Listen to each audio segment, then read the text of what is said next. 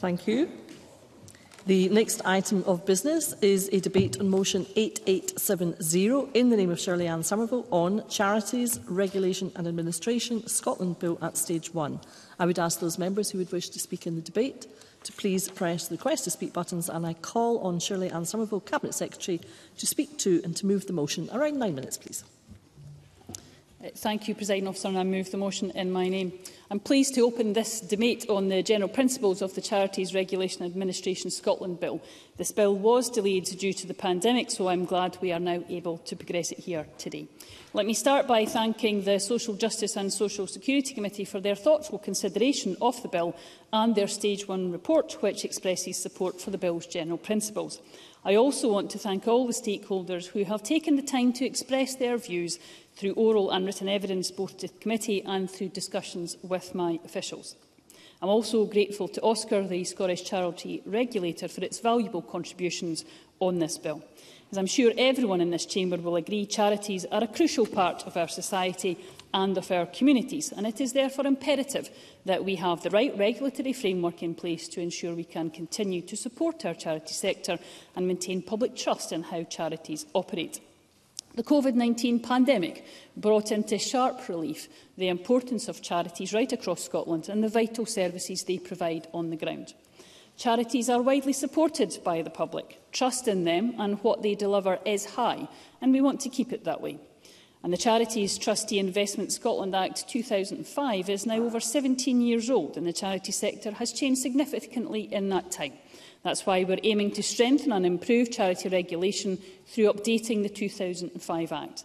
I'm pleased that charities have voiced their support for this bill and its principles, which will increase transparency of charities and proportionately extend OSCAR's powers. It is encouraging to see that the committee supports all provisions within the bill, particularly information about charity trustees and charity accounts, both of which will increase transparency and will in turn strengthen and enhance public trust and confidence in the Scottish charity sector. The Stage 1 report sets out positive conclusions and constructive recommendations that my officials can take forward. Turning to the specifics of the bill, the overall aim is to strengthen and update the existing framework rather than to revisit the fundamental principles of the 2005 Act. The bill is built around proposals put forward by OSCAR based on its operational experience since the 2005 Act came into force. Further to this, following engagement with OSCAR and the Law Society of Scotland, the record of charity mergers at Section 12 is proposed, which will improve access to legacy income for many charities, and a list of minor or technical amendments were also added. The Scottish Government consulted in 2019 and 2021 on the proposals put forward by OSCAR, with over 400 written responses in total. Both consultations showed strong support for the proposals and that stakeholders are keen to see changes brought forward. The bill covers a range of different provisions designed to enhance the existing framework. Each of the provisions falls under one of the three primary aims. The first is increasing transparency and accountability in charities by improving public access to information about the charity's operations. The bill requires Oscar to publish the accounts for all charities and to include the name of charity trustees on the Scottish Charity Register. Oscar will be able to maintain a schedule of charity trustee details for its own internal use and provide a publicly searchable record of the small number of individuals who have been removed from holding trustee office by the courts. The Stage 1 report recognises the balance the bill provides between the overarching need for transparency and the safeguarding of individual safety and security. The second aim is providing stronger powers for OSCAR, including the power to issue positive directions to help charities address regulatory issues. Certainly. Gordon MacDonald. I thank the Cabinet Secretary for giving way and for the record I'm supportive of the general principles of this bill. We all want to see good regulation, improved openness, accountability and transparency for our charities. we also need to ensure that those charities are well served by the regulator, OSCAR. So can I ask the Cabinet Secretary, who regulates the regulator? And if a charity feels they have not been treated fairly or been communicated well with, who can they go to for adjudication during the process of interacting with OSCAR? Cabinet Secretary. Well, the member raises uh, a very important uh, point. Clearly, um, there is the complaints procedure um, within OSCAR, um, and of course, if the individual or charity remains dissatisfied, um, there can obviously be um, further moves to the Scottish Public Services Ombudsman. Uh, but if there is a concern about um, the role of the regulator in this, I think this is one of the aspects uh, that can, um, if uh, people desire for that to be looked at in the wider reform work that will come forward um, on charity property law. Uh, if I can move on, presiding officer, to that second aim about stronger powers uh, for Oscar, the bill gives Oscar a new power to issue positive directions to charities in addition to the existing powers to issue preventative directions. It also allows Oscar to conduct inquiries where necessary into former charities and their trustees. Oscar's powers and duties are enhanced by enabling Oscar to remove a charity from the register where it fails to provide accounts and fails to respond to communications. There is also a new provision which requires Oscar to refuse to enter an applicant onto the register where it considers it would not be appropriate to regulate the applicant because it has no connection or only a negligible connection to Scotland. Oscar is also empowered to appoint interim trustees to a charity in certain circumstances, for example where the charity has no trustees or the existing trustees cannot be found. Furthermore, the bill makes some adjustments to OSCAR's processes around gathering information in connection with, uh, in connection with inquiries in order to make them more streamlined and efficient.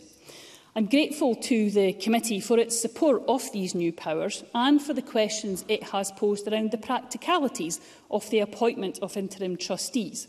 I understand the committee's desire for more information on how OSCAR envisaged that new power will work, especially in the light of difficulties faced by many charities on the recruitment and the retention of trustees themselves. Now, I understand that Oscar intends to write directly to the committee on this point and on other areas requested in the Stage 1 report, including plans for communicating the changes with charities and providing guidance.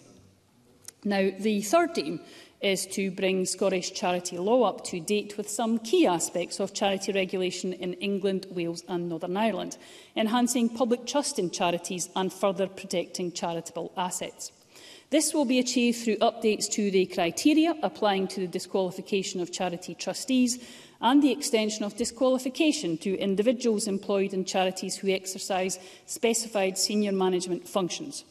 I'm glad that the committee agreed that it is sensible for Scotland to align the trustee disqualification criteria with the rest of the UK to enhance the sector's ability to carry out due diligence. I also appreciate the committee raising the important issue of trustee and senior management diversity within the charity sector. And I share the committee's view that those with lived experience can and should be, bring valuable and often unique contributions to charity boards. The bill enhances protection for charitable assets through the creation of a record of charity mergers and the new provision redirecting legacies where a charity has merged. The Stage 1 report asks the Scottish Government to consider whether other types of gifts to charities can be included in the record of charity mergers and the Government is assessing this possibility. Um, one aspect of this, which I don't think we've necessarily had clarity on at stage one of this bill was with regards to lifetime gifts when a charity does go through a merger and just wondered what work government were doing ahead of stage two to prevent uh, to provide that clarity. Cabinet Secretary. Well, th this is indeed what the, the type of work that I referred to just um, in, in my um, remarks um, I made before the intervention. Um, I'm very keen uh, to, to look at this. and very happy to work with members of the committee and indeed other members across the chamber to see what more can be done in advance of stage two and happy to take that forward with Mr Biggs should he uh, wish to do so. This bill makes practical improvements and updates existing charity regulation and the role of OSCAR. And that's why we've consulted pre-pandemic and why we're taking this forward. And I know that stakeholders want to see long-term changes to charity regulation – I want to be clear that this is not the purpose of this bill. This bill is intended to sustain the effective and supported regulation of charities during these challenging times. However, as I mentioned um, in my response um, to Gordon MacDonald, I do believe there is a need for a broader review of the future of charity regulation, which is why I am pleased to recommit to a wider review following the passage of this bill. The Stage 1 report helpfully sets out stakeholders' views on areas for consideration as part of that wider review, and we will ensure that we will engage with the charity sector further on the scope of that review and how it could be shaped. Presiding officer, this is a technical bill. Uh, it's a very focused bill that provides improvement for the charity sector by strengthening and enhancing the existing regulatory framework. I hope, therefore, that the Parliament will agree, and I hereby move the motion in my name. Thank you, Cabinet Secretary. I now call on Colette Stevenson to speak on behalf of the Social Justice and Social Security Committee. A generous eight minutes. Ms Stevenson. Thank you, Presiding Officer. I'm delighted to be speaking on behalf of the Social Justice and Social Security Committee as its new convener. Before I get into the substance of the committee's scrutiny work, I would first like to thank the outgoing convener and deputy convener Natalie Dawn and Emma Roddick as well as the wider committee for their diligent scrutiny of the Charities Regulation and Administration Scotland Bill. I know although the bill is small in size, it belies the technical complexities the committee had to grapple with. This bill aims to update and strengthen the 2005 Charities and Trustee Investment Scotland Act and provides an opportunity to improve the regulation of charities as well as to reinforce public confidence in the sector as a whole. As Chaz told us, charities are in a privileged position with regard to handling donations from the public. Those are things in relation to which public accountability is important. The committee saw a breadth of views, including from the third sector, designated religious charities, as well as from law, accountancy and audit professionals. The committee is extremely grateful to all of those who engaged with us. One of the objectives of the bill is to bring Scottish charity legislation up to date with key aspects of regulation in England, Wales and Northern Ireland technical changes the bill brings about will help regulation in Scotland keep pace with that of other jurisdictions. However, evidence gathered demonstrates a, a desire to go further for a wider review of charity law, and we understand that the Scottish Government has provided such a commitment, and we welcome this. It has been almost two decades since the 2005 legislation was enacted and the use of digital systems means the world and the way we work has changed significantly. Witnesses made clear it's essential that any review is independent and crucially carried out in consultation with a wide range of people and organisations. We advocate strongly that the Scottish Government engages the third sector directly and early and makes specific efforts to reach those small to medium organisations. As part of its evidence, the Charity Law Association explained one of the joys of the Scottish charity system is that we have sometimes been slightly ahead of the game, but now we are slightly behind the curve. We hope that wider review helps to put Scotland back at the forefront. Before turning to the detail of the provisions, I want to emphasise that although the committee supports the general principles, we did receive a clear message from the charitable sector that more information is required. The Scottish Government and OSCAR must work together to ensure the sector is provided with this reassurance and support. One example of an area in need of clarification relates to the disqualification of potential trustees. It quickly became clear there was significant confusion surrounding undischarged bankruptcy as a disqualification criterion. Several witnesses were specifically concerned that some individuals with relevant lived experience may be barred from becoming a trustee, even more so because the cost of living crisis could increase instances of bankruptcy. Although Auster advised personal bankruptcy is an existing criterion for disqualifi disqualification in place since the 2005 Act, we felt the regulator needed to clarify the position to the sector. It's concerning to the committee that it hasn't taken the introduction of this bill for the lack of awareness regarding this regulation to come to light. Now new legislation is coming through, OSCAR must ensure that all existing and new regulations governing charities are well understood by those that work in them. Full transparency and accountability in the sector can only be achieved if individuals working in it know what is expected of them. While those potentially subject to disqualification can apply for a waiver, uncertainty around how the waiver process would work was also raised. A particular concern was default disqualification. It was thought that as well as the waiver process being potentially off-putting to prospective trustees, it could disproportionately affect those from marginalised backgrounds. Charities deal with public money raised in good faith. It is imperative that this element of the legislation remains robust. However, organisations and potential trustees must have the information and support that they need to ensure the waiver process is straightforward and individuals are given the opportunity to be judged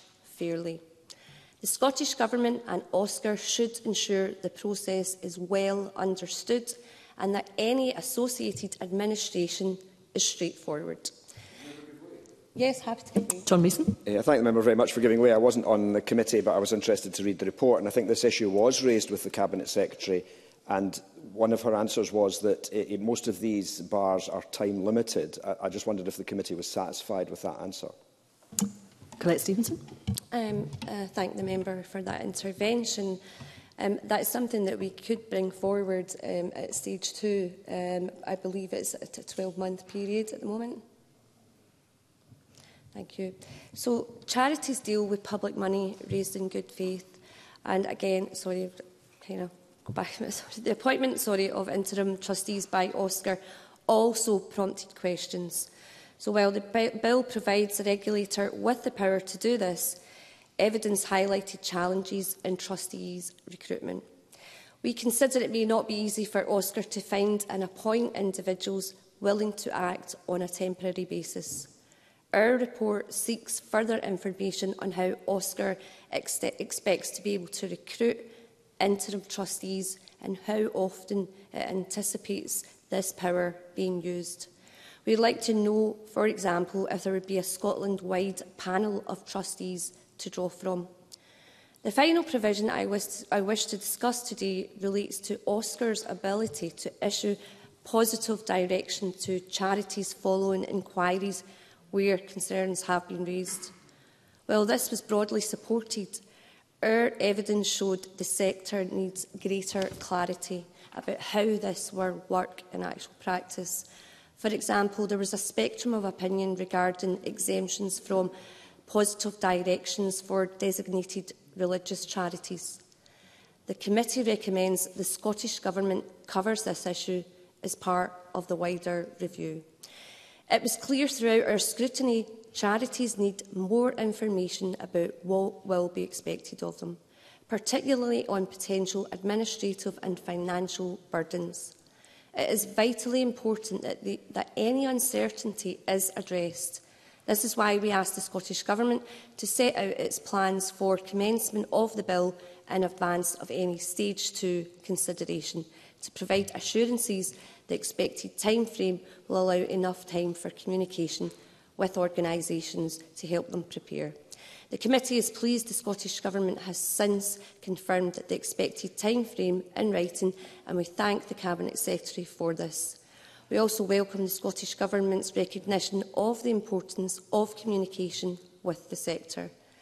In conclusion, presiding officer, in order for charities to continue to add value, we must ensure they are properly, properly regulated and supported.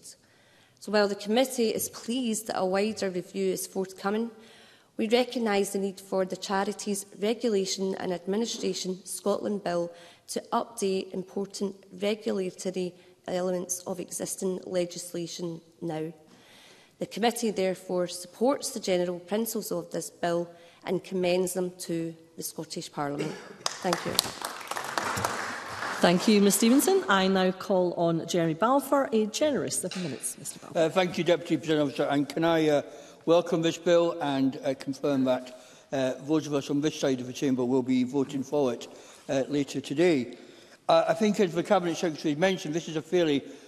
non-controversial bill, and uh, that's probably just as well because uh, since stage one, we've had a new Cabinet Secretary, we've had a new convener, new deputy convener and lost five members of the committee. So if it had been controversial, heaven knows what would have happened. However, it is uh, a welcome bill and um, I do hope that it will bring some clarity in regard to how charity law is developing. Um, like others, I would like to thank those who gave evidence to the committee um, at stage one, uh, to the third sector, to other uh, bodies interested in this. And like the Cabinet Secretary, we all acknowledge, I'm sure with this, within the Chamber, the importance of the third sector of charities uh, within Scotland.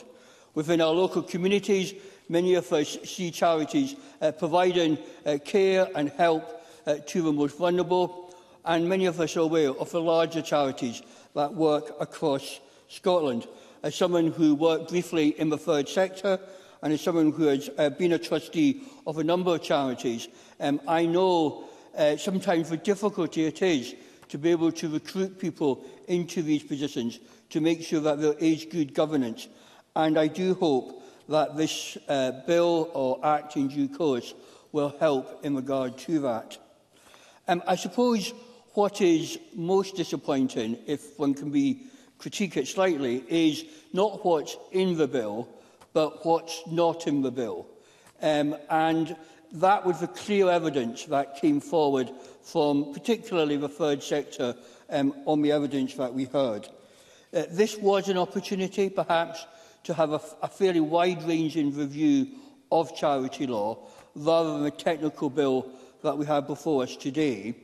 But uh, that has not happened. And I think there is disappointment in regard to that. Now, I do understand that the Minister has um, said again today that there will be further consultation once this becomes an act. But I wonder if she could just uh, put on record uh, as she closes that there will be no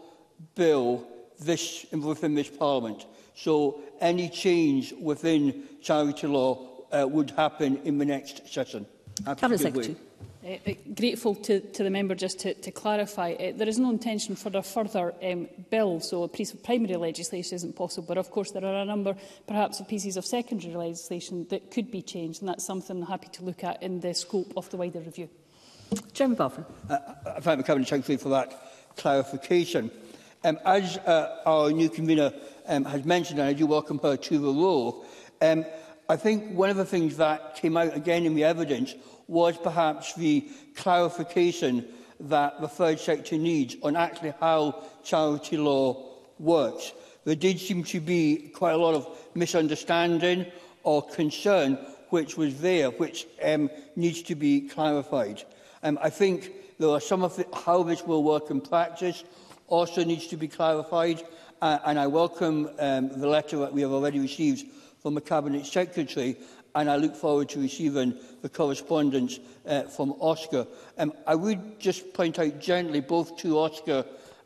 and to the Scottish Government, that we are working on quite a tight timescale in regard to Stage 2 amendments. My understanding that it will happen early next month, which means we will have to be lodged this month, um, and we're already nearly halfway through this month. So I do hope that we will receive early correspondence um, from these bodies so that the appropriate discussions and amendments can be brought forward, which will seek to improve the bill.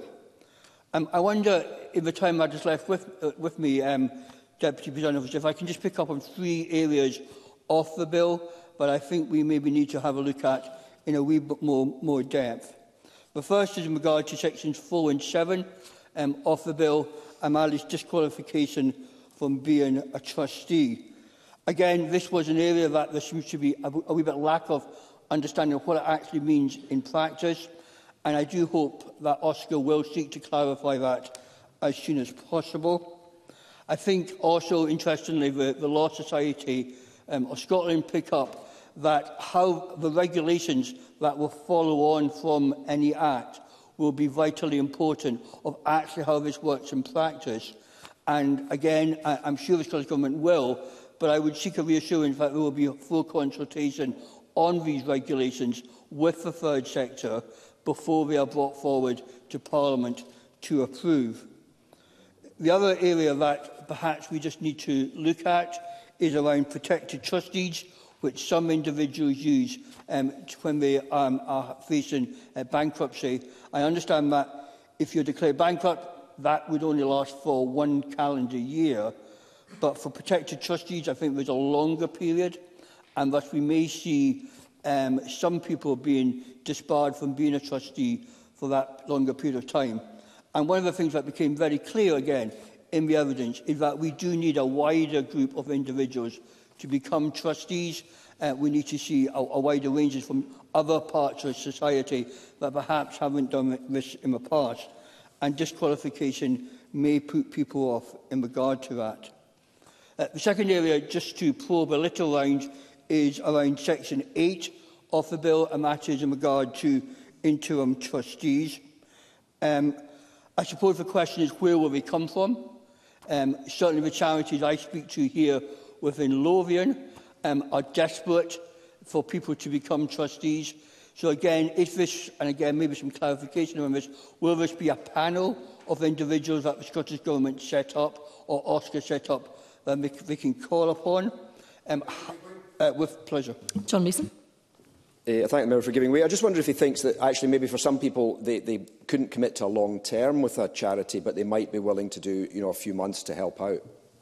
Jeremy Balfour. Well, I, I, mean, I think that's an interesting concept.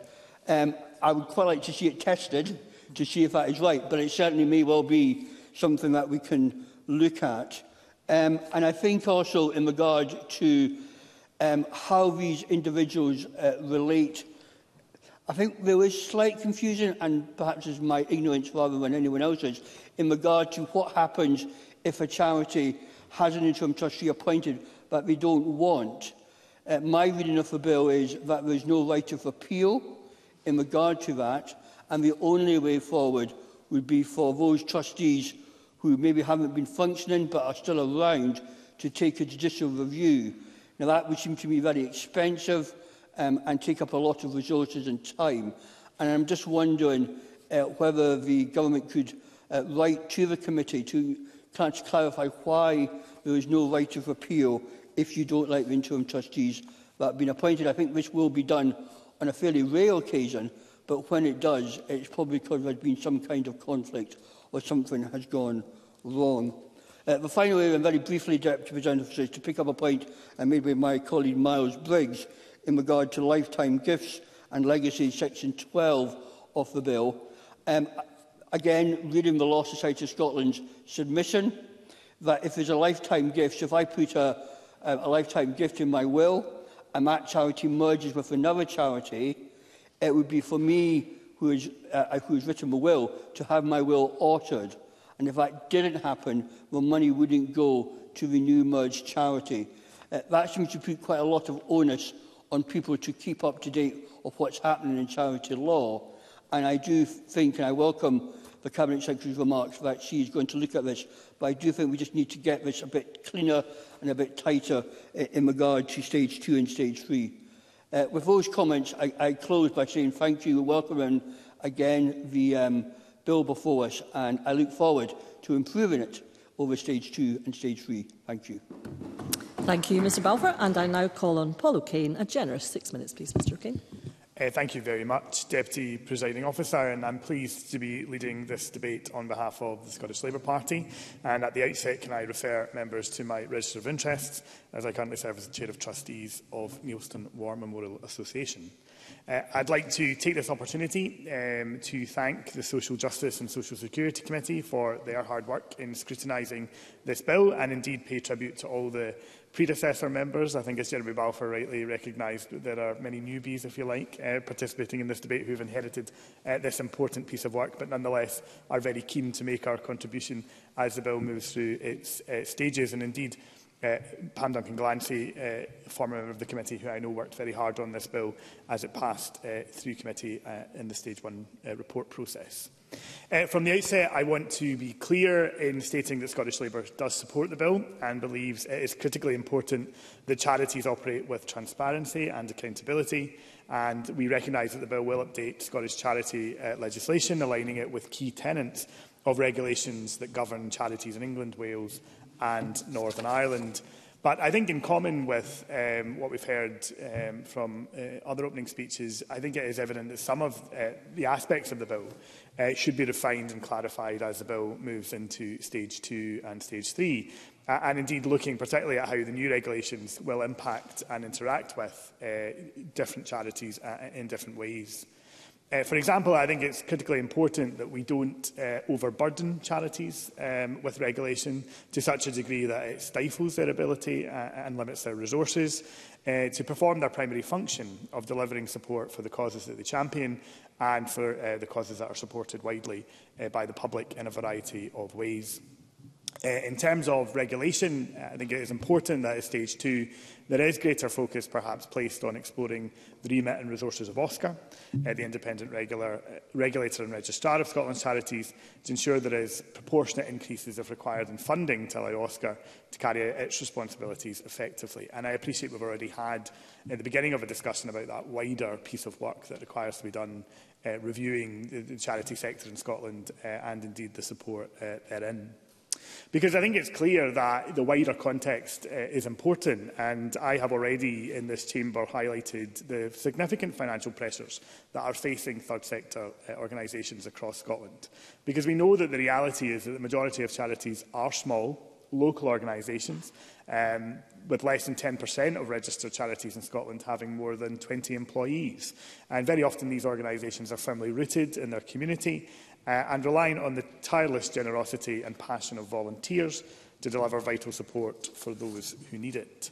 Indeed, I mentioned last week uh, in the Chamber during my contribution to the, the debate on social isolation and loneliness that in the context of the cost of living crisis, third sector organisations are being asked to deliver more with less resource. So we do, I think, need to recognise that whilst this is a technical bill, um, there is a wider debate here about the third sector uh, as a vital national resource. Um, their expertise is unrivalled and the work that they do is invaluable. And I think government, um, in, as part of that wider review, will want to consider uh, the continuing conversation about funding, uh, long-term funding, uh, looking to move beyond uh, that one year-to-year funding of uh, the third sector, and looking at the availability of more core funding, uh, and indeed supporting uh, representative bodies like the Scottish Council for Voluntary Organisations to actually drive forward a lot of these changes uh, and support um, charities, I think, to grow their capacity actually uh, to be able to uh, seamlessly move through uh, with these changes. Our third sector needs greater stability, I think, rather than being limited by continuous cycles of short-term funding uh, uh, and uh, different interventions at different stages in terms of regulation. Indeed, during the consultation process for the bill, several third sector organisations actually highlighted that they were struggling to respond to the consultation simply because he didn't have capacity to draft a meaningful response within the timescale. So I think that in itself tells us a story about the picture uh, for many charities. Indeed, uh, only a tiny fraction of the 25,000 registered charities in Scotland submitted a response to the consultation. And indeed, throughout those responses, I think we saw um, questions raised uh, which we've already heard articulated uh, about the impact of the legislation, particularly around perhaps the creation of a register of trustees, Um, it's been highlighted by many charities and indeed by the Faculty of Advocates that charities already struggle to recruit charity trustees with the requisite skills, passion and experience and indeed the time commitment to give to the charities. And I think although um, we see in the bill that uh, trustees, prospective trustees will be able to apply to OSCAR to preserve their anonymity, Um, I think that whilst protecting accountability and transparencies of charities, it is actually important to recognise that for many people, that creates additional barriers to actually becoming a trustee and engaging, particularly for people who perhaps are going through a period of re rehabilitation, rebuilding their lives perhaps after criminal convictions or, or a prison sentence. And I do think we have to be mindful of the balance between protecting charities and protecting the money people don donate to charities, but also giving e-, everyone a fair crack of the whip and an opportunity. To, uh, yes, certainly. John Mason. Yeah, I thank the member much, much for giving way.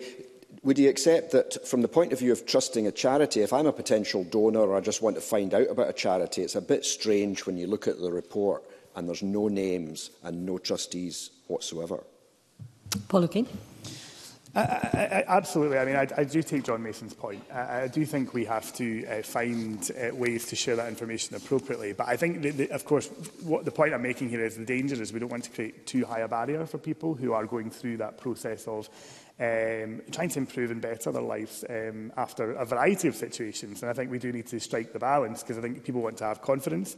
They want to know who is in uh, control of the charity, who is, uh, is governing the charity. I do think we just need to be quite careful about how we, how we go about that and what the thresholds are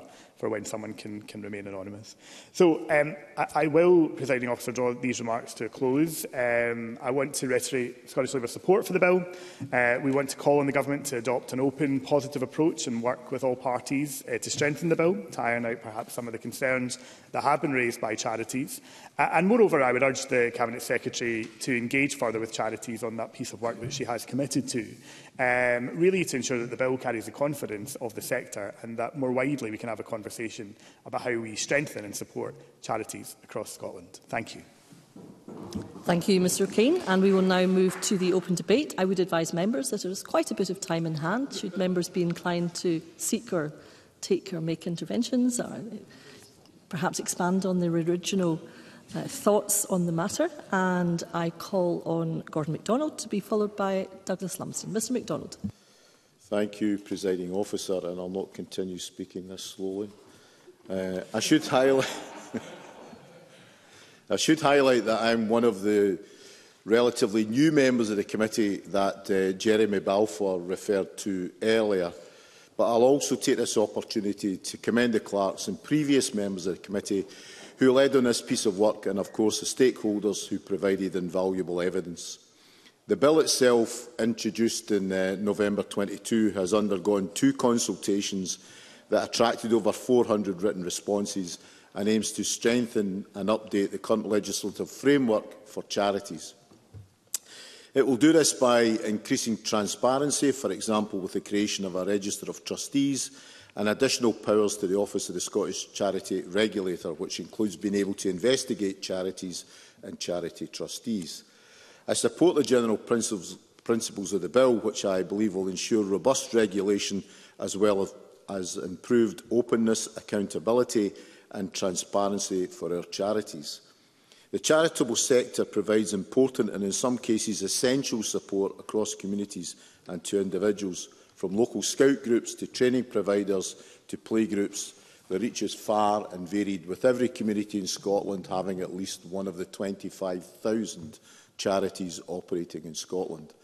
In my constituency of Edinburgh Pentlands, there are 263 registered charities, who many people in my area depend on for support. However, one in eight of those same charities fail to submit their annual return and are currently flagged as defaulting. Therefore, it is right that we look again at the legislation passed in 2005 to ensure it is fit for purpose. Submissions to the consultation recognise that the charity sector has changed and grown significantly since 2005, with many citing the expectation from the public on charities having changed. In particular, organisations funded by local and national government agencies are subject to more checks and balances than ever before. A common theme among respondents was a need for greater transparency and accountability to maintain the public's trust in the sector. The pandemic had a profound impact on the sector and I'm certain members across the Chamber will all be too aware of the pressure on them throughout that time. Some of the respondents believe this situation underlined the need for greater transparency as well as the need for wider reform given the huge changes that happened in response to the challenges posed by the pandemic. Evidence submitted also highlighted a belief that the past three years following COVID-19 has seen more change in the sector than ever before since 2005 Act was implemented. In addition, the consultation process, which focused on potential improvements to the statutory charity regulation framework, there were calls for a more fundamental review of the charitable sector, and I am pleased that the Cabinet Secretary indicated her intention to consult further with the sector on this following the passage of this bill. In terms of the provisions set out in the bill, in general they reflect and I believe strengthen the proposals put forward by Oscar back in 2018 And as I already indicated, the bill proposes giving OSCAR wider powers to investigate charities and charity trustees, amending the rules on who can be a charity trustee or a senior officer in a charity, increasing the information that OSCAR holds about charity trustees, updating the information which needs to be included on the Scottish Charity Register and creating a record of charities that have merged. It is clear from the majority of charitable organisations who responded that the proposed changes to the legislation is a welcome move by the Scottish Government. Overall, the evidence gathered agreed that the bill would lead to greater transparency in charity regulation. There were some concerns raised that the proposal would only be effective in increasing transparency and protecting the Scottish public if OSCAR is appropriately resourced and able to implement its new powers. I'm pleased that the Cabinet Secretary has taken this into consideration and given assurances that the additional obligations, while significant, will not be too burdensome and will work with Oscar to ensure they're supported. Of those that responded, many recognised that increasing Oscar's powers to investigate current and former charities, as well as broader coverage of the right to disqualify trustees, will have a positive impact in protecting the public. In addition, many respondents believe that strengthening OSCAR's powers will act as a deterrent against maladministration, which will go some way in offering assurances to the general public about management of funds. A number of respondents supported the creation of a publicly searchable record of trustees, which they believed would increase transparency and protect the public against rogue trustees who previously would be able to avoid scrutiny. Many smaller charities understandably have concerns on whether or not any changes to the legislation would result in additional costs to them, particularly when we are still in the throes of a cost of living increase, which undoubtedly has had a huge significant impact on their ability to operate. I welcome the assurances from the Scottish Government as set out in the financial memorandum that whilst the changes may result in some additional administrative time, There should not be any additional costs. Finally, presiding officer, I welcome the Cabinet Secretary's earlier commitment to review the regulation of OSCAR and any future wider review of charitable law following the passage of this bill. This is fundamental and will go some way to ensure that charitable organisations are treated fairly in any dispute.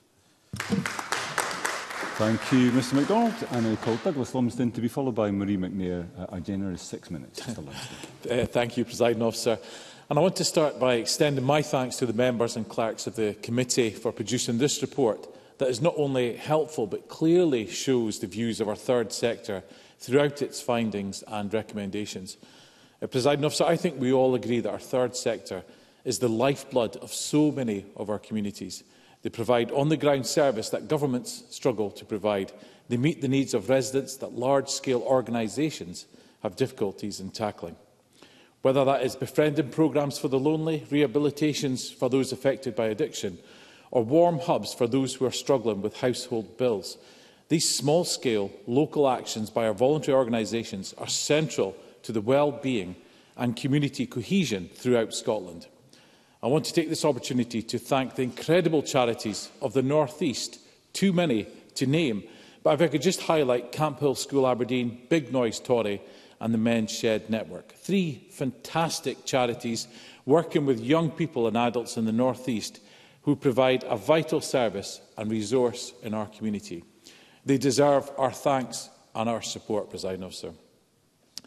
But reform of uh, charity legislation is long overdue, and I join with colleagues in welcoming this bill that we are considering today. It goes some way to developing a clearer framework for charities and their trustees in Scotland, encouraging the use of technology and building greater transparency into the system so that our third sector has greater accountability and access to support and help. I also welcome the consultation that took place with the third sector when drafting this legislation. It has been well thought through and the third sector has engaged widely. Although I note that only 12 of the 32 third sector interfaces responded to the consultation, but I do recognise that this was during the pandemic when many organisations had to place resources elsewhere. I support the committee's recommendation that the Scottish Government looks again at how it engages the third sector in the future and would ask that the Cabinet Secretary if they could bring forward a plan of how that may happen for future consultations. I note that many of the organisations who responded to the cons consultation did have concerns about the place of people with lived experiences as trustees under the new legislation and welcome the committee's focus on this in their report. They clearly thought carefully about this issue and considered the implications on boards and recruiting trustees. The committee calls for much greater clarity on the disqualif disqualification criteria around bankruptcy and to ensure that the waiver process is well understood by the sector. This will clearly require some work by OSCAR to ensure that this is placed once the legislation has been passed here, and we heard that from the convener already. Presiding officer, as anyone involved in charities in Scotland knows, recruitment of trustees is challenging. Finding the right people to do the right job is difficult, and this has been particularly highlighted in more rural communities. It is important that this legislation does not dissuade anyone who is suitable from becoming a charity trustee and does not make the process cumbersome and therefore putting people off. More clarity is also needed around the interim trustee process and you know, what that will mean in practice. And I look forward to the committee considering this during the passage of the bill. There is clearly a great deal of concern among charities who responded to the consultation about the level of additional administrative burden that this will place on small charities. As we know, the majority of charities are small and most are wholly staffed by volunteers It is vital that any additional administrative responsibilities does not negatively impact on their ability to deliver services within our communities. In the report, Alzheimer's Scotland makes an important point around the administrative and financial burden. Additional burdens should not put off any volunteer treasurers or administrators for the charities as well. This is a key concern that needs to be addressed moving forward with clear guidance from the government and OSCAR and IT solutions put in place that makes it easier for charities to report rather than harder.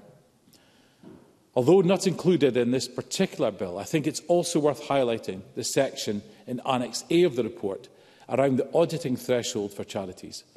I understand that the level of income for charities in Scotland is slightly smaller But I would ask the Cabinet Secretary again to listen to the calls from the third sector on this issue. I note one comment from the consultation held on the 1st of March from the summary note that states, anecdotally, there is a lack of availability of auditors, which I'm sure members of the SNP front bench would agree with and have some experience of recently.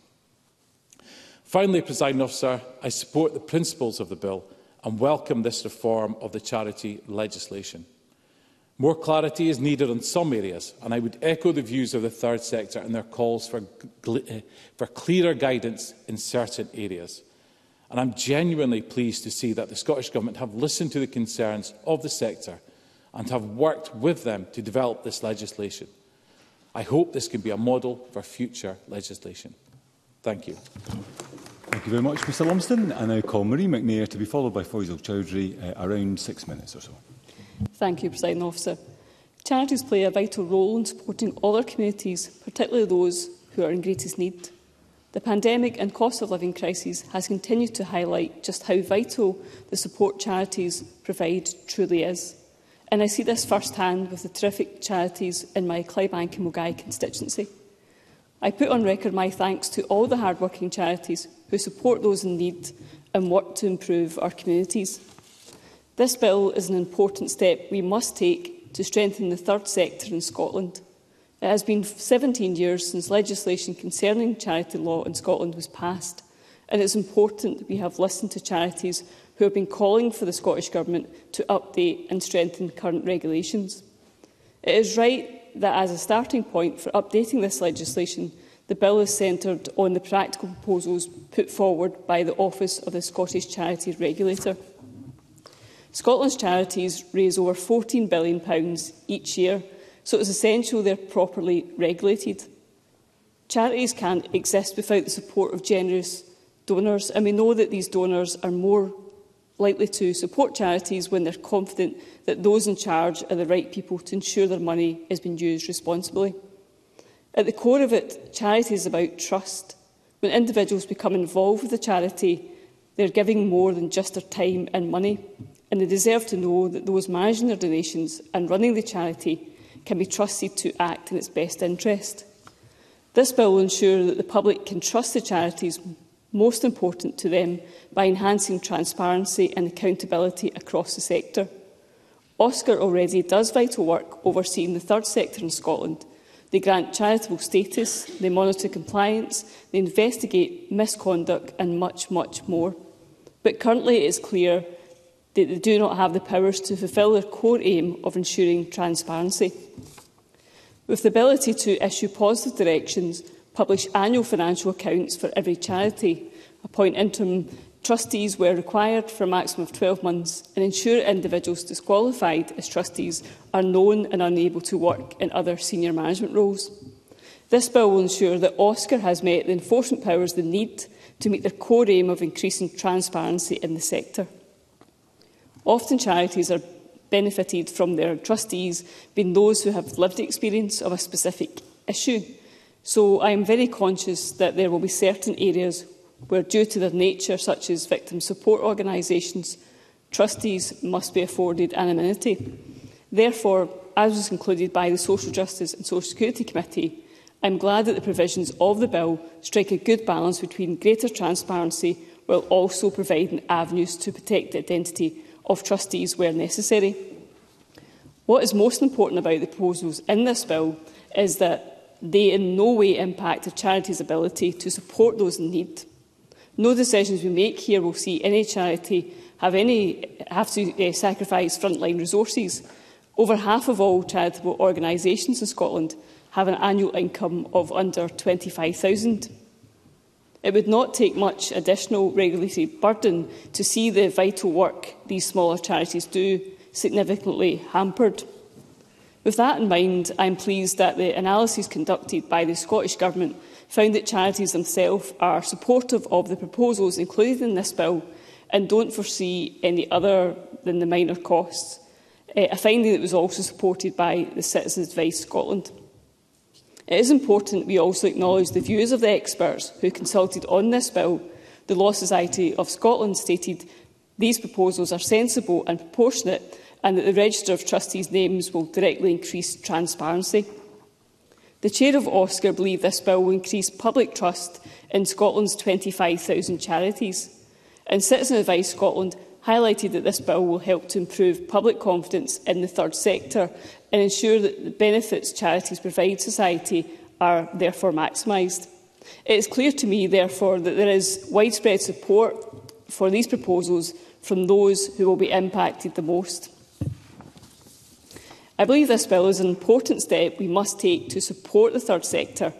Charities will only continue to receive the donations that they urgently require if donors have full confidence that their donations are going to support those who need it most. The improvements this bill make to transparency in the sector will go a long way to ensure donors continue to have confidence in the charities they choose to support. It is clear from the consultation that further work will be required as we continue to strengthen the Scottish charity sector. However, I am firmly supportive of this bill and believe it provides the best possible framework to begin comprehensively improving charity regulation in Scotland. Thank you. Thank you, Ms McNair. I now call uh, Faisal Chowdhury to be followed by John Mason. Around six minutes, please. Thank you, Presiding Officer. Uh, before I begin, I would like to declare my interest as Chair of the Edinburgh and Lothian Regional Equality Council.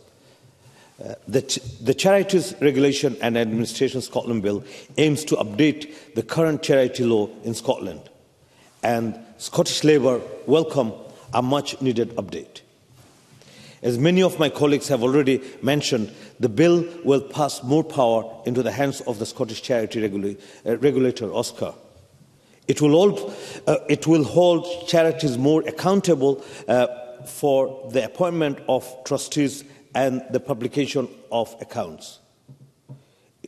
It also increases transparency and accountability in charities by increasing public access to information about the daily running of the charity.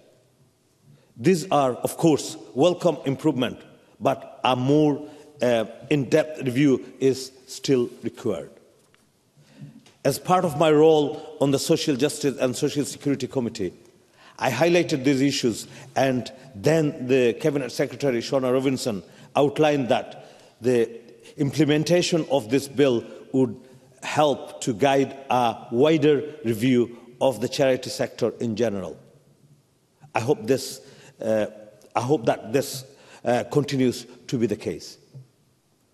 Of course, there are some key issues I would like to highlight with this bill.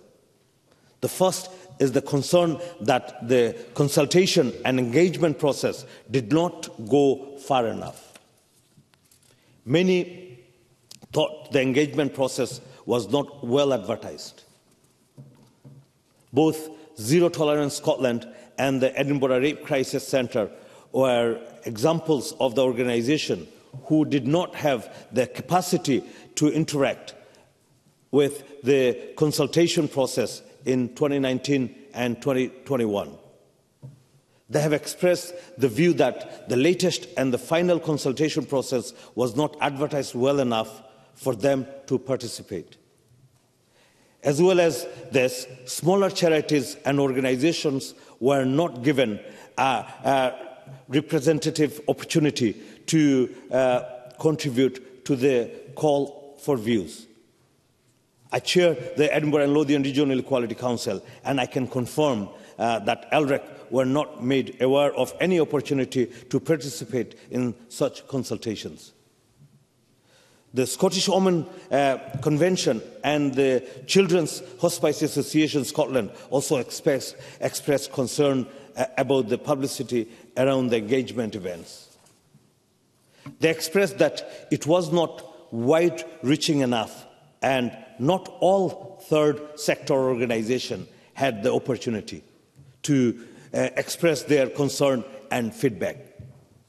Some charities also felt that they have not had the chance to fully contribute to the bill and that the development has been skewed towards the views of the Oscar.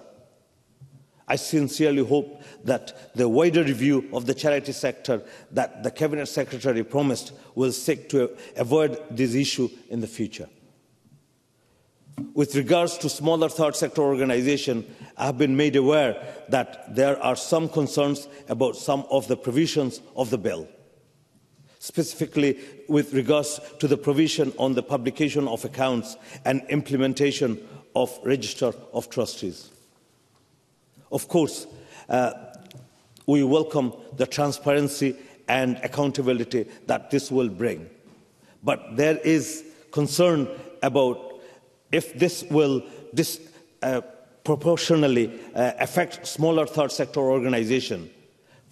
Foundation Scotland expressed concern that the administrative burden placed on the charities due to the new provision may feel disproportionate for smaller charities.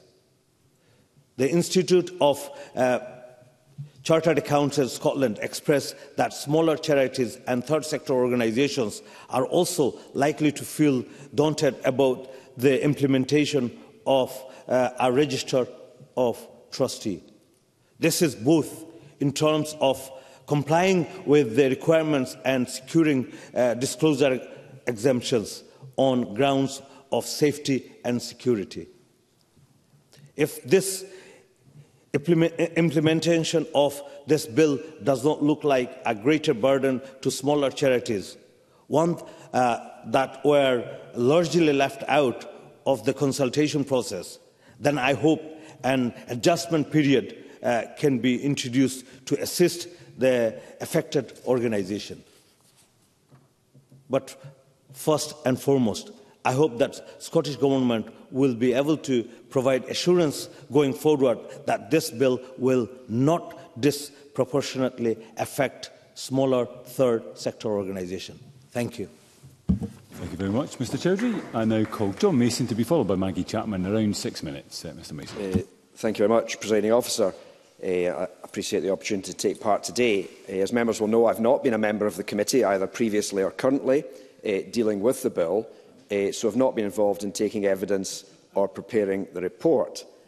However, perhaps that has some advantages in that I come to it with, without a lot of preconceived uh, notions.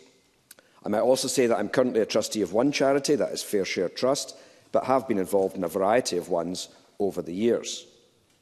Starting with what is actually in the bill, uh, whether or not trustees' names should be in the public domain has clearly been considered by the committee at some length, and it is argued uh, will increase transparency and accountability.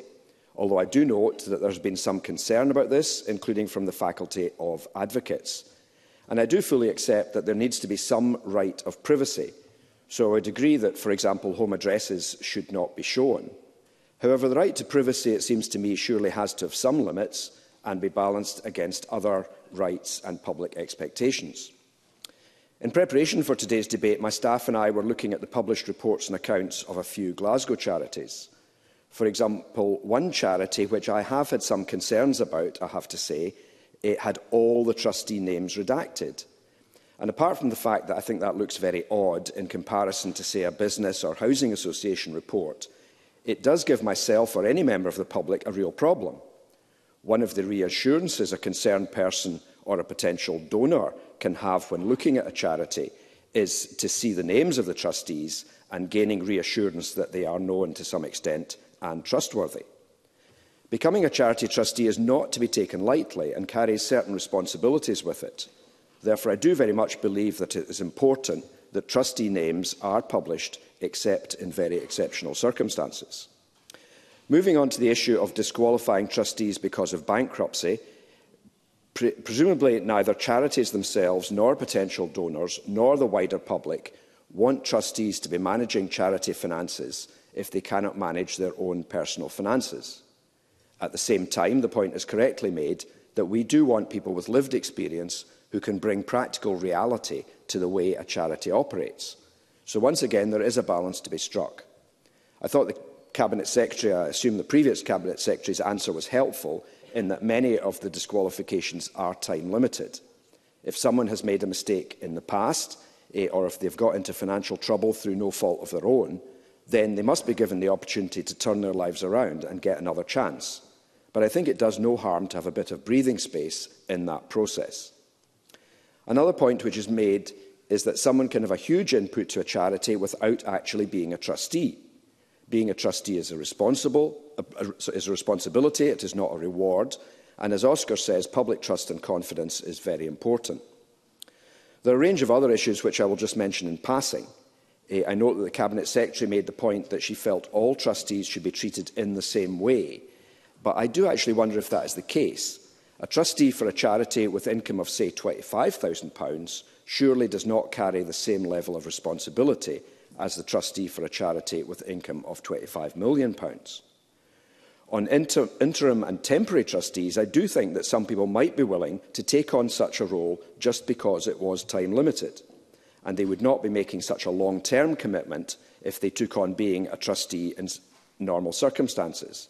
And I would have to say that I personally might consider a, an interim role, whereas I wouldn't consider a, a long-term one. But that's not an invitation uh, for people to contact me. Eh, I have to say that one point I did not really understand was that information in the accounts could be used maliciously against the charities, and I was not really clear what the committee meant by that. Uh, availability of auditors, uh, or the lack of them, was raised by ICAS, of which I should say I am a member. Um, and I think with the so many charities being under £25,000, it is worth considering if any checks are really needed on that at all, whereas independent examination is clearly an important alternative for medium-sized charities. But clearly, it seems to me the risk of misappropriation increases with income, and I would have reservations if the threshold for an audit was raised from half a million pounds to one million pounds, as ICAS suggest. A lot can go wrong with an income of half a million pounds, and I think it is the risk factor which should be decisive in that question. Moving on to what is not in the bill, I did say in my own brief submission to the consultation that I considered we need a more fundamental review of charity law. And I'm glad to see that a number of other organisations said the same, including the Law Society of Scotland. And Annex A in the committee's report touches on this. It seems to me that we have at least three different types of charities at the moment in Scotland, and they are all very different from each other. There is the small local charity, which is working in the local community or perhaps raising funds for a school overseas, and it is run entirely by volunteers. Then there are much larger charities who are also doing that same kind of work, but with a large number of staff and possibly government funding, and we think of charities like Oxfam, Barnado's, SSPCA eh, in that category. And again, there are other big organisations like Glasgow Life, housing associations, universities and the like, which are probably not really charities in the traditional sense of the word. Now, I have no problem with any of these bodies getting tax breaks, as they do, which I think is one of the incentives for being a charity, eh, and they do certainly fulfil charitable purposes. In Glasgow Life's case, I think they claim to fulfil seven of the purposes for, a, eh, for being a charity. But I, I still wonder if we should really be calling something like Glasgow Life a charity. I think that is a bit misleading eh, in the use of the word. And I feel it dilutes the, the positive feeling that many people have around charities, and maybe we need to look in the long term at new definitions of the word. But in closing, I'm very happy to support the bill at stage one, and I hope the bill will be followed by more wide-ranging legislation in the future. Thank you. Thank you very much, Mr Mason. Uh, I now call Maggie Chapman, who joins us remotely, to be followed by Pam Duncan Glancy around six minutes. Ms Chapman. Thank you, Presiding Officer. I am pleased to contribute to this debate today in support of the general principles of this bill on behalf of the Scottish Greens, and I refer members to my register of interests. I was previously employed in different roles within the charitable sector, and I am a member of some others. Charities, the third sector, play a vital role in our communities. They often support us at some of the most difficult or challenging times in our lives. They provide crucial, sometimes life saving services for us as individuals, families, and whole communities. They advocate on our behalf when we cannot or might not be able to speak for ourselves. They provide constructive challenge and critique for all levels of government on policy direction and, and decisions. They build resilience and provide protections across all of our communities. Their hard work often going unseen and sadly often undervalued too. Our society would not function without these services and supports and the often selfless work that so many contribute to our collective well-being. It is therefore vital that the regulatory framework within which charities operate is up to date and serves both the charities and wider society as well as possible. As we've heard already this afternoon, charity law in Scotland has not been significantly amended since the Charities and Trustee Investment Scotland Act 2005 was enacted. The bill we debate today aims to update the current system of charity regulation by improving transparency and accountability, enhancing public trust by providing greater protection for charity assets and the charity brand through stronger enforcement powers, and improving the efficiency of OSCARs operations. If passed, as the Cabinet, Cabinet, Secretary has outlined, this technical bill will make a number of amendments to that 2005 Act. It seeks to give OSCA, the charity regulator, wider powers to investigate charities and charity trustees. It amends the rules on who can be a trustee or a senior office holder in a charity, vital roles that must be properly supported. And it increases the information that OSCA holds about charity trustees. It also updates the information that is required to be included on the Scottish Charity Register and to create a record of charities that have merged. Importantly, all of this seeks to make charities more accountable and transparent in their governance and operational arrangements. I am very grateful to the Social Justice and Social Security Committee for its detailed scrutiny of this bill over recent months and its Stage 1 report published last month. As someone who does not sit on that committee, I found this report very helpful to better understand the issues covered in this technical legislation. Others have already highlighted specific issues or areas of concern, but I just want to reinforce the calls made on the Scottish Government for early and direct engagement with the breadth of the charity sector, not only over the coming stages of this bill, but for any and all future reviews of charity law in Scotland. Similarly, we should all share the responsibility for the provision of clear information to ensure the sector as a whole is aware of the provisions in this bill and that there is shared understanding of the implications of the legislation for charities and regulators alike. This bill is clearly not intended to be a complete review or reform of charity law, but rather to enhance the measures that already exist. However, the various consultations that have led us to today particularly what the Social Justice and Social Security Committee heard, are clear. A more comprehensive review of the 2005 legislation is required, and I'm grateful to the Cabinet Secretary for her statements of intent around the wider reviews. Because, as others have said, there are things that this bill does not do, which we would like to see considered.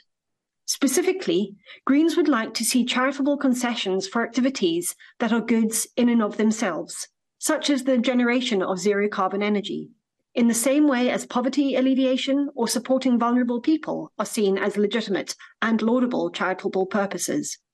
Charities shouldn't have to go through the bureaucratic process of setting up trading subsidiaries just to do good. We would also like to see the explicit inclusion of each of the protected characteristics currently covered in the Equality Act into charity law. Religion is obviously already covered, and rightly so but we consider there to be benefit to ensuring all protected characteristics are treated similarly in charity legislation. However, I appreciate these are substantial proposals, and along with many of the other issues raised by other groups and organisations, some of which have already been highlighted this afternoon, these would all be better considered as part of that wider review already planned for future years. So, in closing, presiding officer, I would like to thank all those charities, individuals, and other agencies and groups who have contributed to the consultations and committee evidence sessions so far. This input is invaluable to our scrutiny of any legislation, but perhaps is especially important when dealing with such technical legislation about organisations and the sector that supports so much of our lives.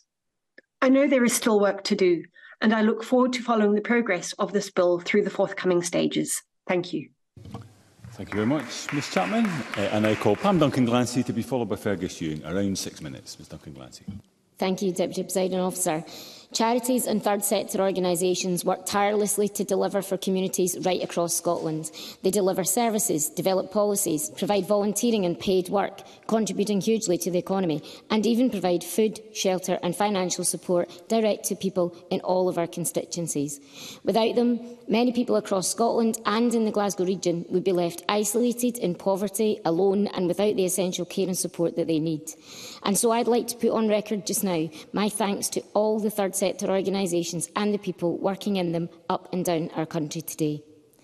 That's why I and my party welcome this bill, which aims to bring regulation in the sector up to date and in line with other areas of the UK. For the most part, it does so, But I want to use my contribution today to highlight some areas where we need the government to be a bit clearer and to act, and I want to reinforce the, re the importance of supporting and resourcing the third sector organisations to make sure that they're not left to implement changes on their own. One of the key areas, I think, is communication. Communicating the changes in the bill the bill makes will be key for the vast number of third sector organisations and the government must be prepared to take a full and active role in that. It cannot leave the already stretched sector to do it themselves. We heard evidence in committee and I'd like to thank everyone who gave evidence to us on this, from counterparts across the UK, of the importance of not underestimating the scale of communication needed. And I hope that the Government will take on board their advice from experience as it progresses. Clarity will be important too, particularly around the categories of people who can and can't be trustees or senior members of charity staff. Recruitment is tough, and the committee heard that loud and clear. And we have heard in this chamber the same this afternoon. So whatever processes are put in place to ensure due diligence, which is crucial, also must be clear on processes to waive the, the, the obstruction to taking up those posts. For some people, being involved in charity work can turn their life around. That's why I'm keen to hear what specifically the Government can do to ensure the impact of the rules on who can and can't be involved at those levels is proportionate, promoted and understood and doesn't undermine efforts to recruit or efforts on equality. Presiding officer, the committee heard that this bill is welcome, but that it is also largely Oscar's bill.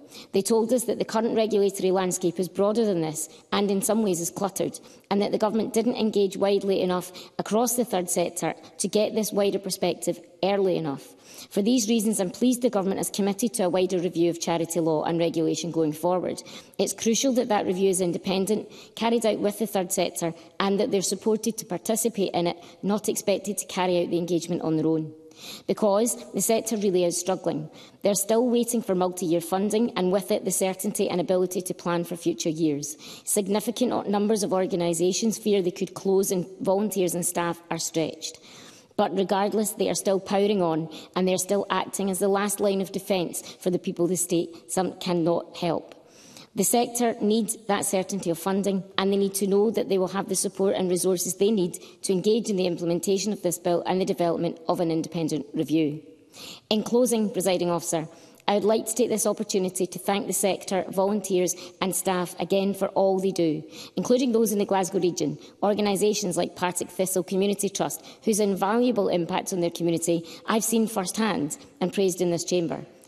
like Healthy and Happy in Rutherglen, who support and encourage our community to flourish, like Glasgow Disability Alliance, who advocate tirelessly for the rights of disabled people, and like Grow 73, which brings Ruthlonians together to make a positive impact on the environment and transform the local community whilst building friendship in the process.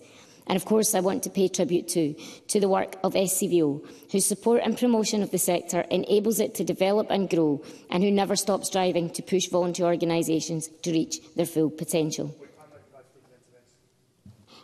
I, I will. I'm very grateful to uh, my colleague for taking the intervention. She's, she's speaking about SCVO and you know, I, I think it's crucial that in any process of uh, moving forward and looking at reform of the sector, that SCVO are, are a strong, strong partner and certainly take a leadership role in that because of their uh, extensive work in um, representing charities across Scotland of different size and scale. So would Pam Duncan Glassie agree with me that um, when the Cabinet Secretary brings forward um, a plan around the, the next stage of engaging with charities, SCVO very much needs to be at the heart of that? I thank, I thank my, co my, my, colleague and member for, um, for that intervention, and I wholeheartedly agree. And my hesitancy there was, was, was not to, to take the intervention at that point, but was to wonder whether um, I was uh, able to do so in the last seconds of my speech. So I thank um, the member for that uh, intervention. SEVO's e support and promotion of the sector really does enable it to develop and grow and, and um, support people. They never stop striving to push voluntary organisations to reach their full potential. And so I do hope that they will be involved in that further review, as my colleague does too. Their work is invaluable and we should do all that we can to support them and the rest of the sector. Thank you. Thank you very much, uh, Ms Duncan Glancy. Uh, and I call the final speaker in the open debate, uh, Fergus Ewing, a, a lavishly generous six minutes, Mr Ewing. Um, you're so kind, uh, Presiding Officer. Thank you for that. And uh, as Pam Duncan Glancy so eloquently has said, we, we all of us owe a debt to those who, who give their time freely, generously, copiously to support charitable effort throughout the country. And indeed, Scotland would not be what it is without the effort of those individuals. Can I also just add my, my own thanks to, um, to Oscar, to the charity, to the people that work in Oscar, and I had the privilege of being the minister with oversight responsibility between 2011 and 16, and particularly enjoyed working with the very Reverend Graham Forbes, who, who chaired Oscar for, I think, um, eight years from 2011. Um, today's debate is about the regulation of charities, And regulation of charities is absolutely necessary. We've heard reasons for this. I think John Mason has made a number of telling points about this. Incidentally, John Mason was right, I think, to say that the audit limit should not be increased to a million pounds. I think he's absolutely spot on with that. Um, uh, but it is about regulation of charities, and we must be mindful when we create regulations in this place that we only do so when they're necessary, that they comply with certain overriding public policy objectives. And these are set out actually in the regulatory review group, the Scottish Government's body that has policy responsibility for looking at regulation. And as I recall from, from memory, um, the, these are that regulations should be proportionate, they should not be unduly burdensome, and they should not result in excessive costs in terms of compliance, taking account the size, scale of charity, and so on and so forth. And these are sensible, desirable principles to which I think we should all comply and, and of which we should be mindful. Now, I want to talk about one particular regulatory impost, I think, which we really would do well to, to look again at. Um, before I, I come to that, recently, of course, the First Minister held a poverty summit in which he, well, he, he reaffirmed the objective of uh, tackling, indeed eradicating poverty in Scotland. And that, that was welcome and heartfelt and ab absolutely paramount importance of what we're doing in this place. And I don't think many people, whatever party we're in, would demur from that point of view. And I think we also know that charities play an absolutely pivotal role in helping to alleviate poverty in a whole host of ways across Scotland. And this is something that that uh, people are passionate about and motivates them as volunteers in charities. Uh, and perhaps the bulwark of that charitable effort, I think, presiding officer, lies in our churches. Our churches, certainly in my constituency, are behind a huge amount of the voluntary effort that goes on in trying to help people who most need help. Whether it's Church of Scotland members whom I've met at food banks who volunteer for their time every week to go along to help out those people whether it's simply organising coffee mornings, raffles, uh, events for the benefit of people who need that help most, whether it's the Salvation Army, whose work is truly magnificent in helping men that have perhaps lost their way in life. The churches are behind so many things. All of the churches. I'm not talking just about the Church of Scotland, which, which I remember, but all churches, all faiths. And across Scotland, this effort is, is terrific. Um, and there is one uh, piece of regulation, not in this bill, which I, I broadly welcome, but, uh, but in another piece of legislation which also regulates charities, presiding officer, which is the Register of Persons Holding a Controlled Interest in Land Regulations 2021. Now, these regulations were set up in, to pursue land reform policy objectives, principally that those landed estates held in trust or by limited companies are often secretive in the sense that people living in those parts of Scotland don't know who the owners are. And that creates a number of very practical problems. Uh, and I think that's the aim of the legislation, although I wasn't involved in it. But it was never intended that, for example, in the case of the Church of Scotland, who have 6,000 properties, that the names of every official in every congregation, in every church in Scotland have to be entered on this register. Who, In what sense is there a public interest that this information requires to be disclosed? And moreover, presumably, as office bearers change, as they do on a very, very frequent basis for all sorts of obvious reasons, uh, that register then has to be updated with a whole ream of information that nobody's interested in. It's not in the public interest, it's not required. And indeed, in this bill, in one of the sections of this bill, as the Cabinet Secretary pointed out at the beginning, there is, uh, rightly, uh, a duty to provide details of the trustees. And I think Mr Mason referred to that as well as the Cabinet Secretary. Yes, I'll certainly take an intervention. Jeremy Balfour.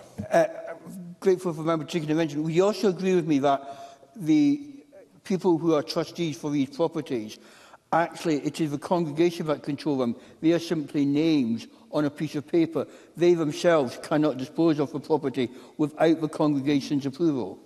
Abso absolutely uh, spot on, relevant point Mr Balfour makes, presiding officer. I entirely agree with that. Now, why am I mentioning this, presiding officer? Well, I'm mentioning it because of this, that at the moment, much of the money that churches raise goes to alleviate poverty. But the Church of Scotland, in a letter which I, I imagine other MSPs have received, and they sent us in January this year, uh, pointed out that having to provide all this information for 6,000 properties will involve them in legal and administration costs of hundreds of thousands of pounds. Now, where is that money coming from?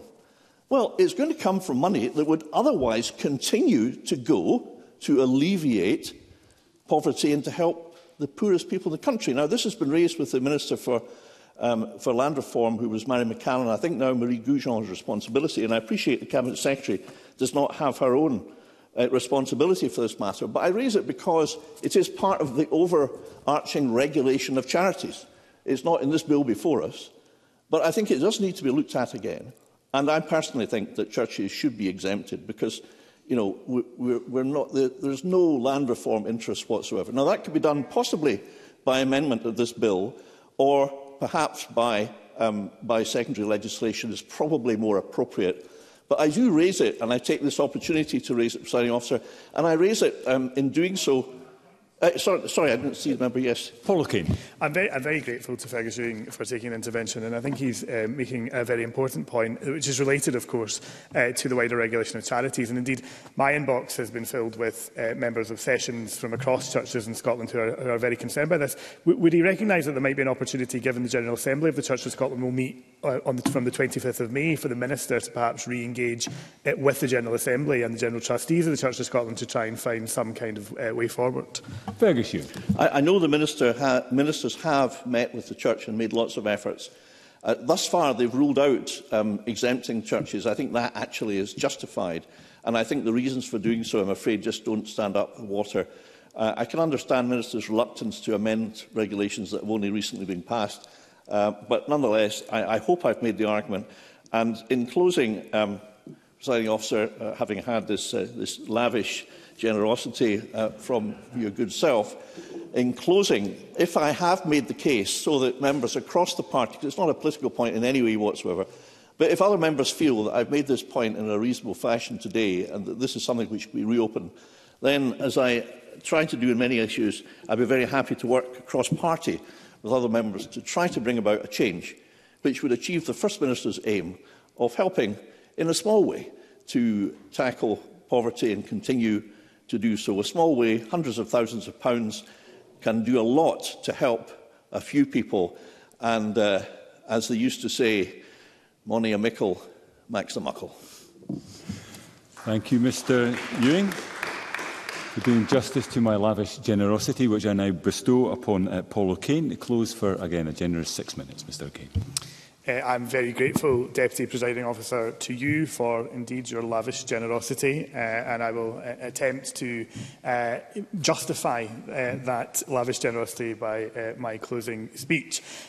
Uh, I, I think we've had uh, an important debate this afternoon in which we have heard, uh, I think, a, a broad uh, consensus here in the Parliament uh, for the general principles of this bill.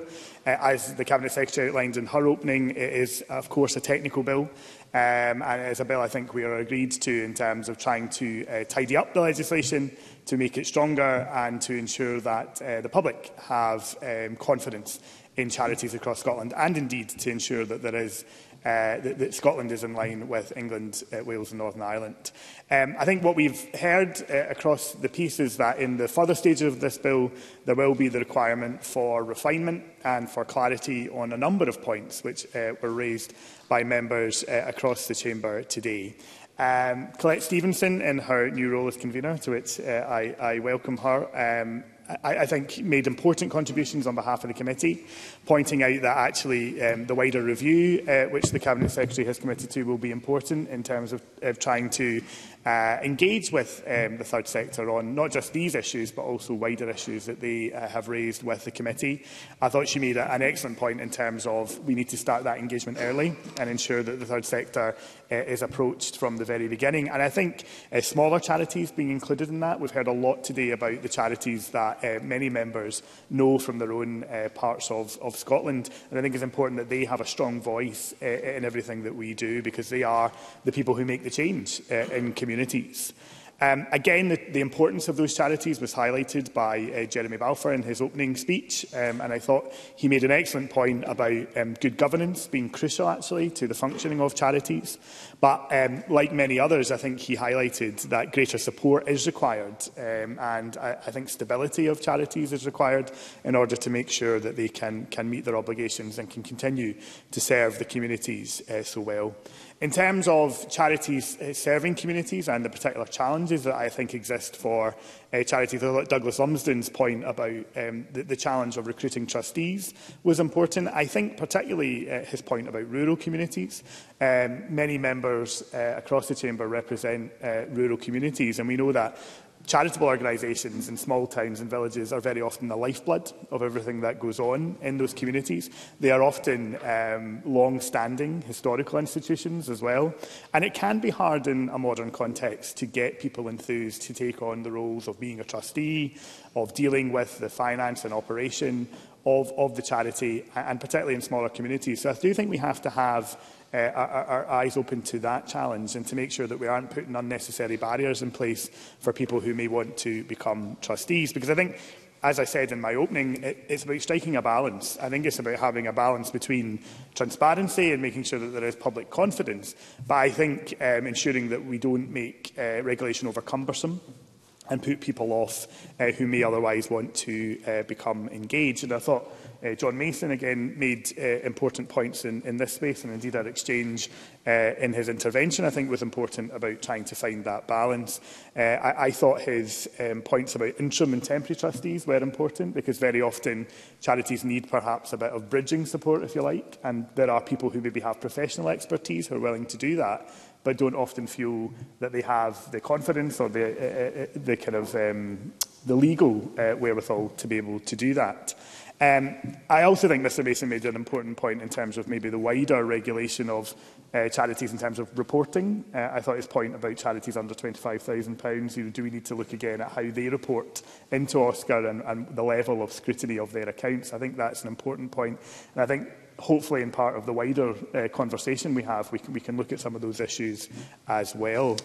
Um, communication, presiding officer, was raised as an issue. I think both communication of the consultation. Um, I mentioned in my opening that um, many charities uh, felt unable to contribute to the, the committee's consultation because of the lack of um, uh, capacity. But Faisal Chowdhury, I think, rightly highlighted that many charities just weren't aware and hadn't actually heard um, that there was a consultation ongoing. So I do hope the government will reflect on that, uh, because Pam Duncan Glancy, um, I think, made an excellent point that communication of the changes um, when the bill eventually uh, clears its parliamentary process will be vital to make sure that everybody knows what is expected of them uh, and what they need to do. So I think communication is a key point that we need to uh, look at uh, as a parliament and indeed hopefully the government will want to reflect some of that uh, when they come back to the chamber. Um, As I have said, uh, presiding officer, the Scottish Labour Party supports the principles of the bill. I think we all want to see charities in Scotland that are uh, well governed, uh, are transparent, that people can have trust in. We want to make sure that when people um, donate to a charity, they do so uh, with confidence. We want to know that when they volunteer for a charity, they do that knowing that the charity is reputable. Uh, I think there are, of course, wider points that have been brought out in the debate which um, really talk about the health of the third sector in Scotland. Clearly, there are um, a multitude of challenges, not least um, recovery from the pandemic, the cost of living pressures, the demand for services, but also, I think, a, a longer-term lack of stra strategy to uh, fund and support charities, particularly things like three-year funding cycles, which we have talked about for a long time in this Parliament uh, and, and haven't been delivered. So I do think we need to look at all of that in the round and make sure that we are supporting charities. And I actually thought Fergus Ewing's points about some of those wider issues that affect uh, faith-based charities and our churches, uh, we can't get away from the fact that other pieces of uh, legislation are interacting here and we need to take a, a look at that. And I think across the chamber there is a cross-party concern about um, some of those uh, issues that he raised and certainly very happy to have a further conversation with him as I'm sure others are as well. So I, I think I am now going over the score, presiding officer, in terms of your generosity. Um, so I wouldn't want to fall foul of, of, of the chair. So uh, I think in, in concluding, I would say that I think there is a real willingness on behalf of certainly this side of the chamber uh, to work with the, the government to get this bill uh, right, to make sure that it does what it sets out to do, and to make sure that we take people with us in the, the charity sector across Scotland. And we look forward indeed to that wider piece of work that the Cabinet Secretary has committed to.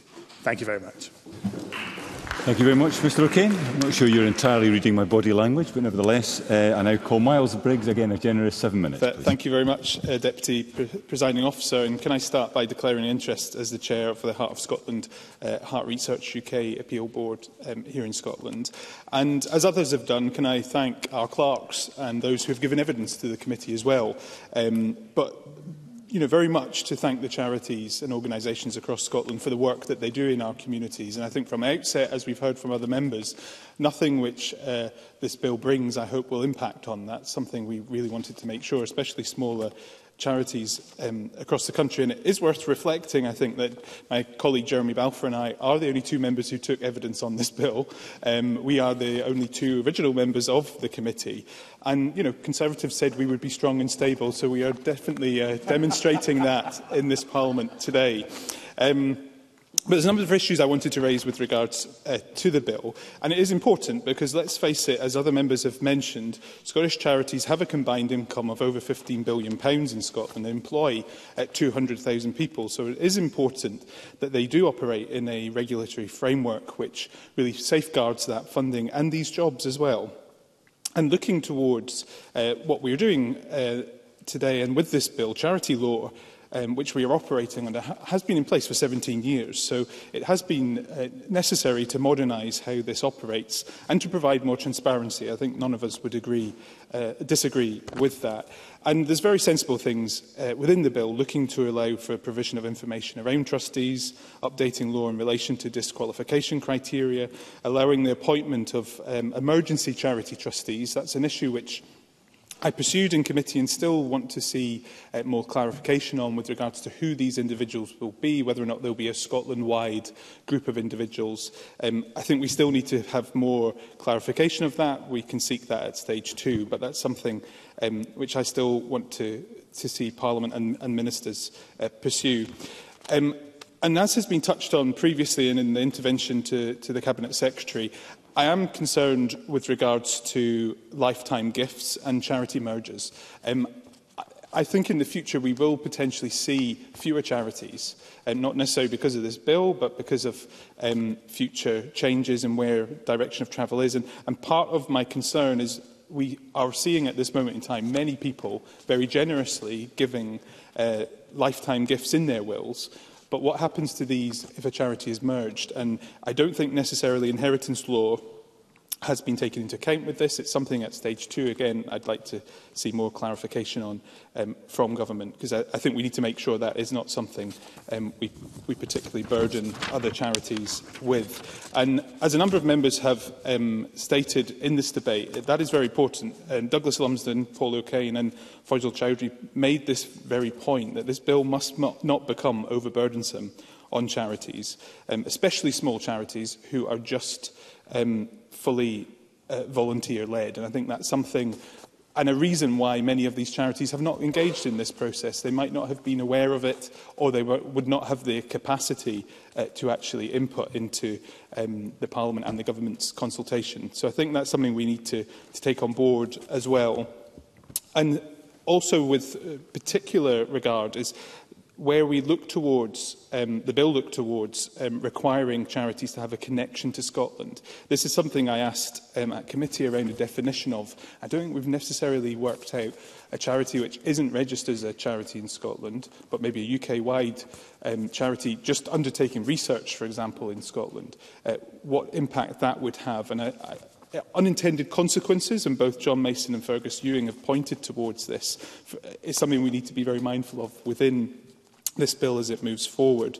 And I do think actually John Mason made some interesting points, maybe not for this bill, um, but future consultations and reforms, because it did seem very unfair that a charity operating in Scotland with an income of less than £25,000, that could be a church hall um, anywhere in Scotland, is under the same regulation. And I do think that's something to look at. I don't know whether or not that is an income threshold, um, whether or not it is an employment um, threshold, because there's obviously uh, different criteria and, and costs around administration. But I do think that's something we haven't had an opportunity to input into this. It's probably not something the government would uh, open up at stage two, but it is something I think um, we need to be mindful of.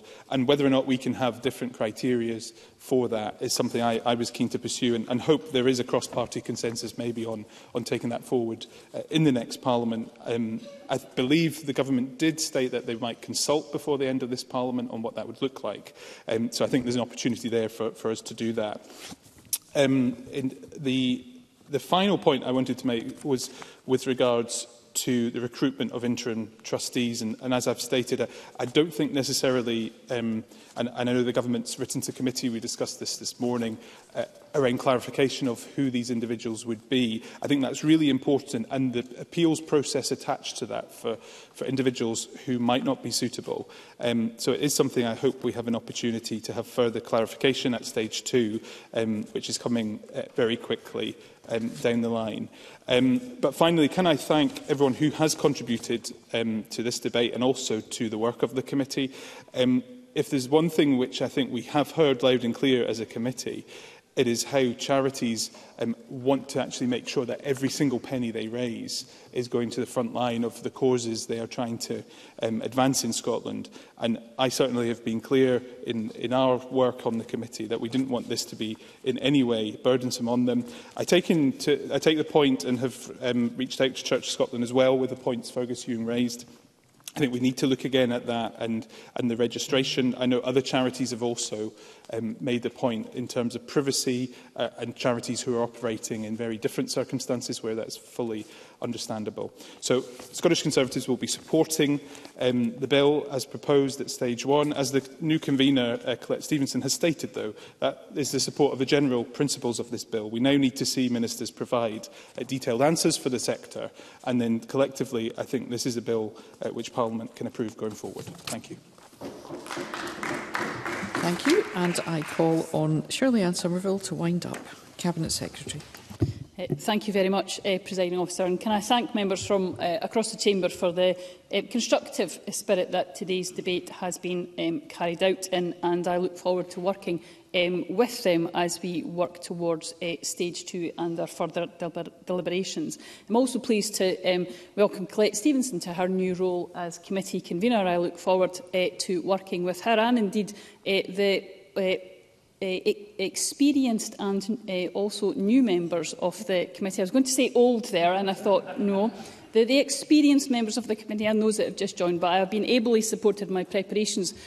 for the debate today by my two junior ministers who were on the committee and did um, actually hear all the evidence um, in front of you.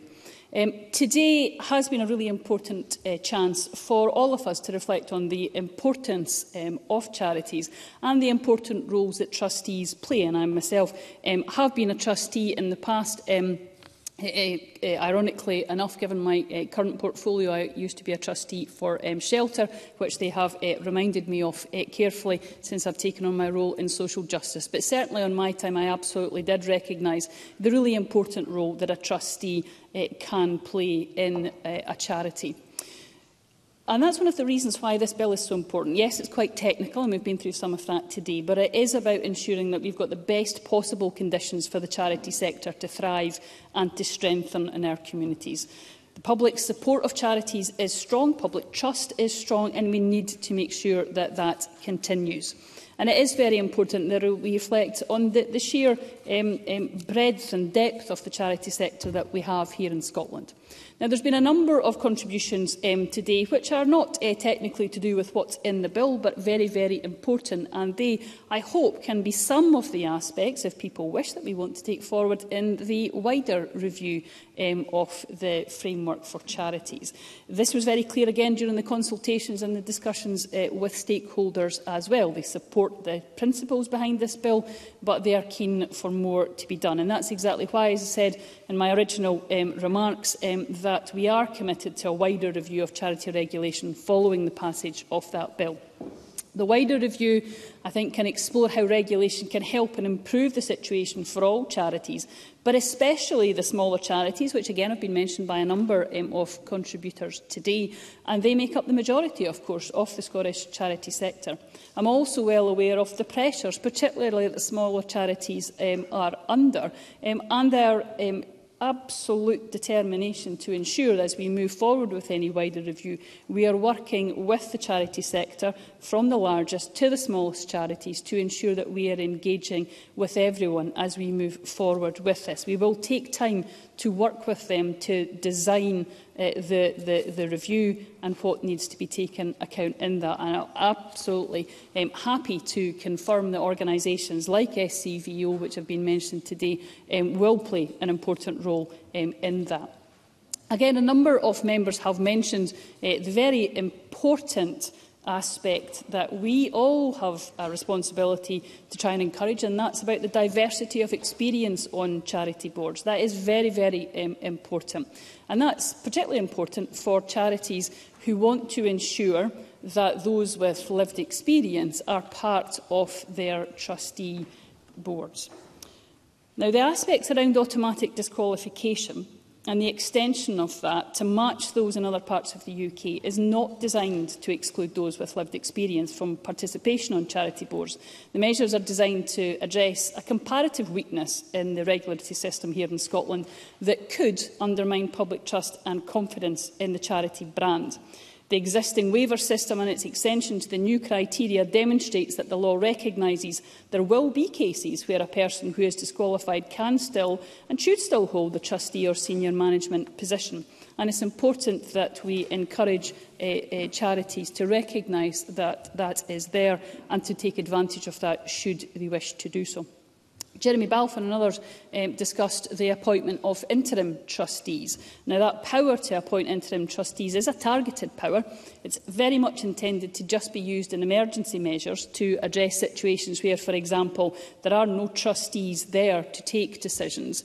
It is a time-limited measure to safeguard charities and charitable assets and to get the charity back up and running. Now, in situations like that where there are no trustees about, um, a dispute mechanism, um, I, I would contend, is not necessary. But if Mr Balfour or other um, members um, believe that this is something that should be looked at, I would be, uh, of course, happy uh, to meet with members um, as we progress to stage two to see if anything more needs to be done on that. Charity trustees um, are, as many people have mentioned, uh, are responsible for managing money and property donated to the public in good faith, and that's why, as a result of current and proposed disqualification criteria, they're based on behaviours or conduct that government considers makes a person unsuitable to hold office as a charity trustee, and for this to be extended to those in senior management positions. Disqualification on the grounds of a specified offence or bankruptcy is time-limited, and once that convention is spent or the bankruptcy is discharged, that disqualification falls. In the interim, the individual can participate in the charity in alternative ways, for example, as a volunteer, or can apply to OSCAR for a waiver.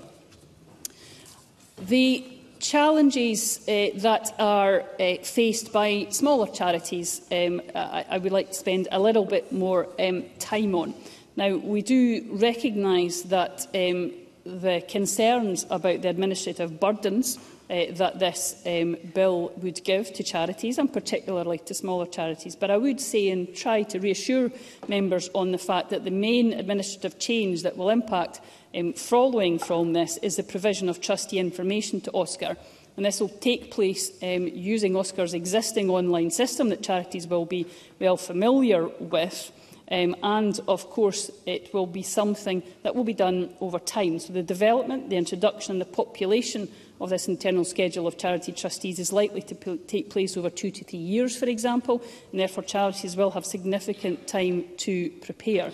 But it is important, and I reassure members that we will continue eh, to work with charities um, as we go forward with this bill and in the implementation to ensure we are fully cognizant of any burdens um, that are being placed, but particularly on smaller charities. In relation to that, of course, um, I would say that it is anticipated that there will be two commencement regulations for this bill, one in spring 24 and one in summer 25.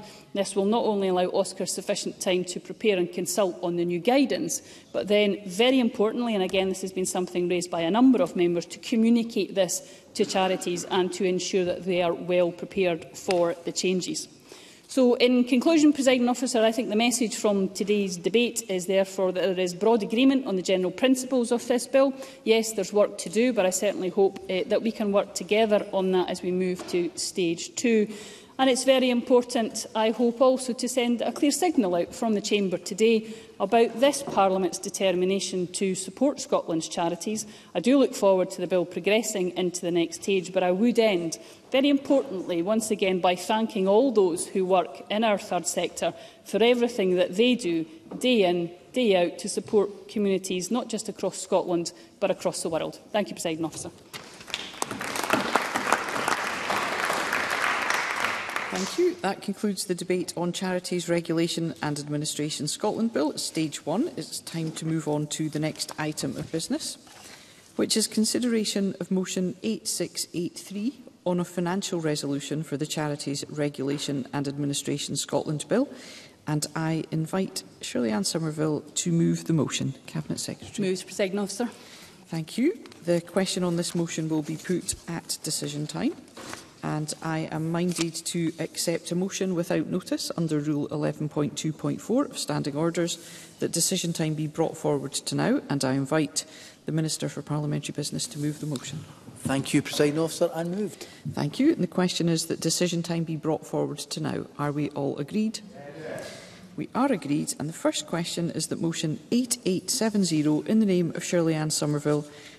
on Charities Regulation and Administration Scotland Bill be agreed. Are we all agreed? Yes. The motion is therefore agreed. The final question is that motion 8683 in the name of Shona Robison on a financial resolution for the Charities Regulation and Administration Scotland Bill be agreed. Are we all agreed? Yes. The motion is therefore agreed. And that concludes decision time and I close this meeting.